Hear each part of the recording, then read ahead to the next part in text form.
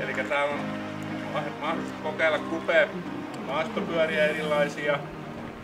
Ja sitten täällä saa nyt sitten tätä tekniikkatietoa, kerrotaan vähän mitä on pyörän osat, mikä on mikäkin, mitä se pyörätekniikka yleensäkin tarkoittaa ja erilaisia pyöriä niin kuin näette. On, on sähköavusteista pyörää, on semiläskiä, on läskipyörää, on kaksi on kaksi ja niistä tulee vähän sit kertomusta myöskin tässä. Saatte kaikki vähän niin kuin tutustua tässä. Sitten on tehty tämmönen tekniikkarata. Rata tähän, minkä sitten oppaat näyttää ensiksi. Ja tarkkana seurataan miten ne menee ja sitten pääsette itse niin kuin tutustua tuohon rataan ja oikeasti opettelemaan näitä alkeiskuvioita. Alkuun kaikki, nyt on tässä osalla jo katsottukin, niin kypäräjuttu on aika tärkeä ja sitten toi toi tota noin, niin, Tiina Riikonen, mikä meillä on täällä Suomen ladusta, niin hän on Suomen ladun maastopyöräkoordinaattori ja vastuussa tästä kupekiekkoista yleensäkin. Eli tekee valtavan työn edistääkseen tätä turvallista maastopyöräilyä Suomessa. Niin mä annan puheenvuoron nyt Tiinalle ja erittäin paljon ollaan tyytyväisiä, kun näin paljon porukkaa ja tervetuloa. Nautitaan tästä opetuksesta sitten pieni lenkki siihen päälle vielä tuossa lähimaastoissa. Tervetuloa. No nyt Tiina. Joo. Tervetuloa myös Suomen ladun puolesta ja aloitetaan turvallisuudesta heti pidemmittä puheitta. Kypärä on itsestäänselvyys maastopyöräilyssä, vaikka tuolla katupyöräilystä siitä käydään välillä keskustelua, että pitääkö se olla vai ei, mutta maastopyöräilyssä aina. Samoin mikä on, niin yleensä aina kannattaa pitää hanskoja jos tulee vähän maakosketusta tai oksat tai puurungot lähelle, niin hanskat suojaa. Ja sitten yksi, yksi turvavaruste on myös lasi, että kun on oksia metsässä lähellä, niin ei mene silmiin, eikä sitten eturenkaasta voi lentää kuraa tai kiviä tai sitten ötököitä mettässä tulee silmiin, niin lasit suojaa. Mutta käydään kypärä läpi, niin ottakaa kaikki se kypärä auki sieltä leuan alta. Ja kypärä pannaan päähän vaakatasossa kiristetään täältä sopivasti. Niin laittakaa oma kypärä silleen päähän. Ja... Siinä on semmonen magneettilukko. Eli sitten kun on kiristetty sopivan kireyteen, sitten ravistetaan, että se pysyy päässä, vaikka hiina ei ole kiinni. Jos se tässä vaiheessa heiluu, niin se on väärän kokonen tai löysällä. Eli se on tärkeää, että se pysyy, ettei käy niin, että kun tulee ensimmäinen monttu, niin se on näin. Tai sitten niin kuin kaupungilla näkee joka toisella, se on täällä takaraivolla, missä se ei suojaa. Eli vaakatossa. Ja kun se on takaa kilistetty ja pysyy päässä sopivasti, niin sitten hiina kiinni sormi tai kaksi saa jäädä tänne väliin, että henki mahtuu kulkemaan, mutta se ei saa nousta tästä leuan yli yhtään, ettei se pääse. Lapsilla usein näkee, että se nousee nenään se hihna, ei saa nousta. Ja nämä sivuhihnat on tärkeä kiristää, säätää oikealle kohdalle omassakin kypärässä aina. Näiden paikka on korvan alla, ei leuan alla. Eli nämä on liikkuvat osat kaikissa kypärissä. Niin, että ne on korvan alla tasapainoisesti, silloin se kypärä pysyy päässä ja vaikka se jäisi puunoksaan kiinni, niin se ei kurista se hinna teitä. Eikä, eikä se sitten tuu silmille montussa. Jep. Ja Tuossa, että minkä takia sanottiin, että ottakaa tuolta kypärä, niin maastopyörä kypärän suojaukset on täällä sivussa ja takana huomattavasti paremmat kuin tuollaisessa peruskaupunkikypärässä. Sen lisäksi lippa suojaa auringolta metsässäkin, niin ei käy niin, että häikästytte ja ajatte puuta päin. Tai sitten, jos on risuja, niin vähän kallistaa alaspäin, niin tämä lippa ohjaa ne risut yli. Et jos on semmoinen lyttypäinen kypärä, niin voi tulla oksat silmille. Että tällä lipallakin on tarkoitus. Jees, eli kypärä on päässä. No sitten mikä muu vaikuttaa turvallisuuteen, niin tietysti se, että maastossa on monenlaista estettä ja kantoa, kiveä ja juurta, niin se oman tason mukaan ajaminen ja se vauhdin kontrollointi, mutta yleensähän aloittelija mieluumminkin tuppaa ajamaan liian hiljaa kuin liian kovaa. Ja se liian hiljaa ajaminenkaan ei aina ole hyvä, koska tulee pienikin este, niin vauhti tökkää. Eli sopiva vauhtia omalla taitotasolla, mutta sitten yhteislenkeille ja tollasiin kannattaa osallistua. Siellä aina oppii, kun näkee, miten toiset ajaa ja uskaltaa ehkä hiukan enemmän kokeilla sitten jotain uutta, kun on porukassa. Kenkiä, lahkeita, niistä sen verran, että jos on kengän nauhat lenkillä, niin survokaa ne sinne nauhojen alle ne lenkit, koska ettei ne jää ketjujen väliin tonne ne lenkit. Ja jos on leveitä lahkeita, ei varmaan kellään olekaan, mutta jos on, niin sukan sisään tai jotenkin, ettei ei jäisi sinne ketjujen väliin, ettei tule nopea lähtö tangon yli. Niin. Mitä sitten aloitetaan? Jos katsotaan ne hallintalaitteet kertaalleen, Kenelle on aivan tutut sille, että jokainen jarru ja vaihdevipu on varmasti selkäytimessä? Onko? Kellä ei ole? Vai, vaikuttaisi olevan, mutta katsotaan ajo, ajo-ote. Eli tämä ote, mikä on tangosta, niin pidetään kunnolla kiinni ja jarruihin riittää yksi sormi, korkeintaan kaksi. Mutta tämä ote, muu ote pitää olla semmoinen, että vaikka on minkälaista, että jos on koko käsi täällä ja tulee töyssy, niin joko lipsuu ote tai sitten voi käydä niin, että töyssyssä vahingossa jarruttaa ja lähtee sitten tangon yli. Kenelle on tutut hydrauliset levyjarrut? Käpälää ylös. Eli kerro, hydrauliset levyjarrut. Miksi, miksi ne on tota, olennaiset? Niissä on, tota, niissä on ensinnäkin se jarruvoima on ihan riittää se yhden sorman, sormen tota noin, niin Eli ei tarvitse puristaa hampaat ilmeisen. Ne on todella tehokkaat eikä vaadi voimaa. Eli levyjarru on tää, että on tää maastopyörissä nykyään kaikissa levyjarrut. Et ennen oli niitä vannejarruja ja ne vonku ja ulisko jarrutti, nääkin kyllä vonkuu märkänä. Mutta se, että se vaan hinkkas tähän vanteeseen, tässä on ihan erilainen jarruteho, kun se on tää iso jarru, levy ja sitten täällä ne jarrupalat. No ja sitten se on just mettässä, kun on märkää, niin se ei ole ikinä se levy käytännössä märkää, että se paljon paremmin pysyy kuivana kuin mitä se vannejarru. Se on tuolla pyörän keskellä, niin se on vähän siellä suojassa. Ja sitten kun jarrutetaan, niin kun ne on tehokkaat, niin ei käytetä ensinnäkään voimaa, mutta hyvin rauhallisia, rauhallisia otteita, että ei mitään tällaisia, tällaisia jarrutuksia eikä äkkijarrutuksia, vaan sellaisia rauhallisia otteita. Ne on tehokkaat, eli se pysähtyy kyllä lyhyellä matkalla myös rauhallisella jarrutuksella periaate on se, että pyörä pysähtyy molemmilla jarruilla, eli harjoittelee sitä jarrujen käyttöä molempia jarruja yhtä aikaa, niin sillä pysähtyy tehokkaasti. Jos pelkällä takajarrulla, niin se laahaa vaan, ja sitten taas jos etujarrulla, niin siinä on vaarana, että lentää sarven yli. Olkaa varovaisia. Tässä nyt näkee sitten, jos sä tulet siitä läskipyörällä tänne, niin tässä nyt näkee näitä erilaisia pyöriä vielä sitten. Pysäkin tänne päin. Tämä on niin sanottu fat bike ja läskipyörän nimitys alkaa siitä, renkaan leveys on neljä tuumaa tai isompi. Siitä sitten pienemmät on niin sanottuja semifatteja, semmoisia kuin Tarjallakin on siellä Tuolla esimerkiksi. Ja sit siellä on plussapyöriä. Ja sitten on, on täysjoustopyörä, missä on takana iskunvaimennus. Tuossa on ne linkut, ne vihreät ja iskunvaimennus on siellä pystyssä. Eli täällä on myös jousto, että kun normipyörissä on.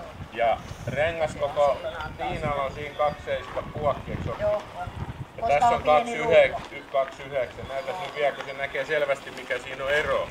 Eli tää renkaan halkasia Nykyään perusmaastopyörissä on aina tää 29, mutta tämmöiset pienirunkoiset pyörät menis hassun malliseksi, jos niissä olisi hirveän isot, isot tota, niin, renkaat. Ja tästä nyt hiukan näkee, että läskipyörä vastaa melkein tätä 29, vaikka siinä on 26 tumman vannepaa, mutta tuo rengas on niin valtava. Ja tässä perustuu sitten siihen se ajomukavuus tähän renkaan joustamiseen, koska näissä on myöskin nykyään joustokeuloja silti. Kaikki luulee, että on kauhean raskas, mutta siellä on nyt naiset kokeilu. Oliko raskas? Niin. Sen takia on näitä kokeiluja, niin. että voi luuloista luopua. Joo. Sitten on vielä tota, sitten on vielä niitä sähköavusteisia pyöriä. Siellä olikin jo yksi Cannondale oma pyörä, mutta sitten täällä on niin sanottu sähköavusteinen pyörä, mikä nyt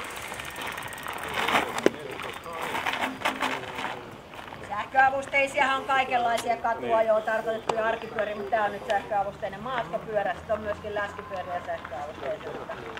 Tois on semmoinen tilanne tällä hetkellä, että kauppa käy niin kuumana, että kaikki mitä liikkeisiin tulee, niin lähtee saman tien, että ne on niin kysyttyjä Mut pari käsitystä tietty täytyy oikoa, että ei tämä automaattisesti tarkoita sitä, että, että tämä niinku on ihan ilmaiseksi menee. Menee tää sit ihan ilmaiseksi sen muutaman kilometrin, mutta akku tyhjä. Sen jälkeen onkin sitten tenkka pois. Varsinkin jos ollaan tuo jossain parikymmentä lisää kotoa. Että näitä sähköjä täytyy opetella hyvinkin käyttämään, että koska sulla on sitä avustusta ja minkä verran. Yleensä niitä käytetään vaan niin kuin ylämäkien meikäläisen kropasta näkee, että ylämäkeen mäkin tykkään täällä mennä. Mä oon ajanut tuolla Lapissa tuntureilla tämmöisellä, niin 50 kilsaa, siinä oli sitten jo pari tuhat nousua. Mutta koko aika käytin näitä, että alamäkeen oli kokonaan sähköt pois ja tasaisellakin ajettiin sit ihan pienimmällä tai offilla. Et sit vasta, ja koko aika oli pulssit kyllä siellä ihan nyt sanotaan semmoisen 10-15 pykälää alempana normaalisti. Eli ei nyt ihan 200. Tää sä Hannu sanoa mitään. Personal trainer tuo. Vaihella sitä sähköä pois. Täältä- täällä on mukavia digita- saada, kun jarrut ja vaihteet ja Joo, tä- täällä on nyt semmonen homma, että tässä on ihan digitaalinen mittari, mistä valitaan se avustus. Onko se sitten pois. Tässä on sitten seuraava on Eco. Sitten on Tour. Sitten tulee tämmönen EMTV, nykyään on E-formulatkin. Ja, ja sitten tota vielä turbo, ja se turbo, silloin on kaikki pelissä, eli Rastaan oli Pekka tässä jo kokeili ja kävi vissiin Pesitorinmäen koittaa ylös vai mitä se Ajoitko se Miltä? Pulkkamäen ylös? Joo. Ei, hän oli vähän monttu.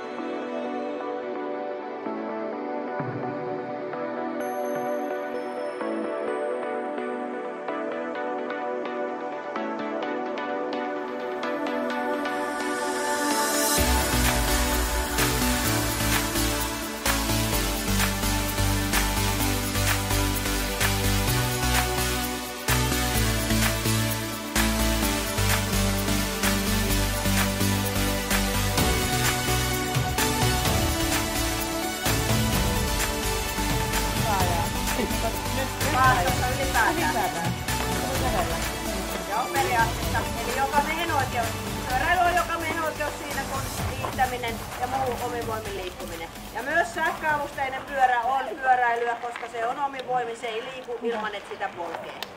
Sitten on erikseen sähkömopot, niillä ei saa ajaa maassa. äitille evästä? Ah, sitten, miten kansallispuistot tai jotkut muut luonnonsuojelualueet? Mua reiteillä. Reiteillä. Tuolla. Se ajatusta. Onko sulla ajatusta? Eli kansallispuistoissa säännöt vaihtelee. Ne on puistokohtaisia. Toisissa saa ajaa ihan joka paikassa. Sitten on sellaiset, missä saa ajaa merkityillä reiteillä. Sitten on vielä joitain, missä on hyvin vanhat järjestyssäännöt voimassa. Niin voi olla, että ei saa ajaa pyörällä. Eli pitää ottaa selvää, jos menee kansallispuistoon.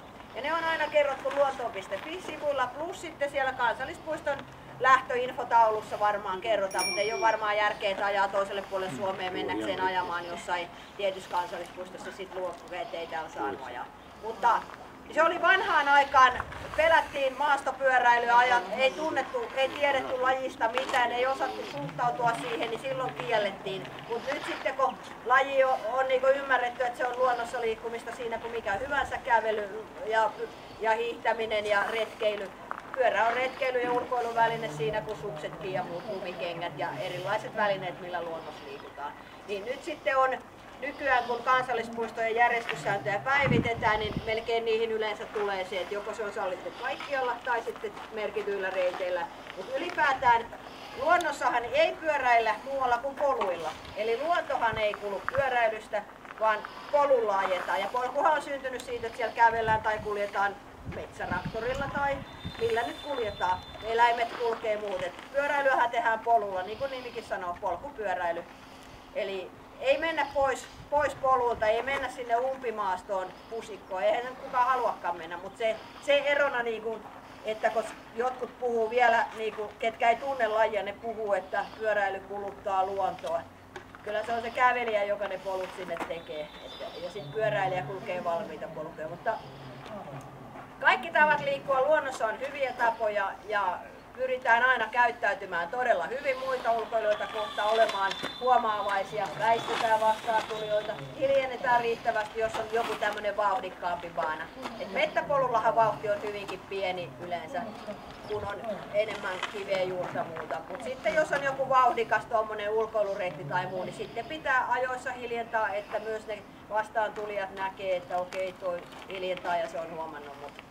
Ja jos tulee takapäin, niin kävelijä, lenkkeilijä ei välttämättä kuule, että pyörä tulee sieltä.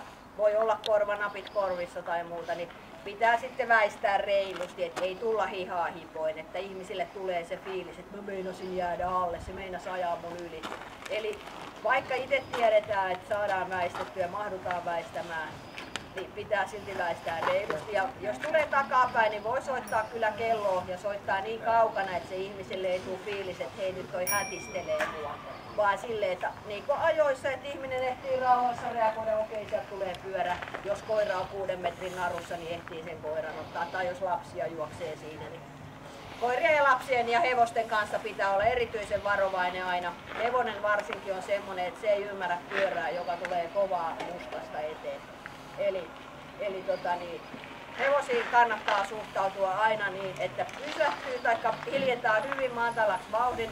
Mielellään puhuu sille, varsinkin jos tulee takapäin. Niin hevonen tietää puheesta, että se on ihminen eikä esimerkiksi susi tai petoeläin, jota pitää karata. Ja taikka sitten jos tulee vastaan, niin katsekontaktilla ratsastajan kanssa, että tietää, että se on tuomannut ja se joko näyttää, että tuu vaan, taikka sitten itse ottaa niin kauan, että ratsastaja on mennyt. Eli huomaavaisuus muita ulkoilijoita kohtaan tärkeä. Luonnon huomioiminen tärkeää. Ei mennä tahallaan paikkoihin, missä olisi sitä vaaraa, että, että tulee vaikka No, jos on joku vaikka arkaluontokohde on merkitty luonnossa, että tuossa on jotain harvinaista kasvia, no silloinhan siinä ei saa tietenkään kävelläkään, mutta silti saattaa olla, että siihen on muodostunut polku, niin yritetään pitää huoli, ettei mennä mihinkään, missä ei ole sallittua pyöräilyä. Mitäs sulla tuli mieleen, mitä ei vielä kerrottu? Mitäs liikenteessä ajetaan? Joo, miten muuten? Joo. Ja ajetaan liikennesääntöjen mukaan. Eli vaikka ollaan maastopyöräilemään menossa, niin joudutaan ylittää katuja tai menemään pätkätie siirtymään, niin ajetaan fiksusti siellä liikenteessäkin. Ei sinne maastoon niin kiire ole kellään, ettei ehdi hiljentää ja mennä oikeasti suojatien yli ja väistää niitä, ketä kuuluu väistää. Ja toi on tärkeä liikenteessä, niin tota, että muut liikkujat tietää mihin te olette menossa. Eli just se, että muistetaan niitä käsimerkkejä, koska ei ne voi kaikki olettaa, että tonne se menee tai tietää. Et se on tärkeää, että muistetaan se nimenomaan se, että ja tiedotetaan, että mihin tosiaan ollaan menossa. Joo, ja vaihdelkaa Vähän ennen sitä. kokeilkaa, Niin täältä löytyy varmaan jokaiselle toinenkin pyörä, mikä on sopivan kokoinen. Ja sitten tuossa on se sähköavusteinen, se on miesten kokoa, ketä himottaa koittaa. Niin Kävis koittaa jo. Kävi. No, kun sua noin hymyilyttää. toi polun pätkä, kato tuolla.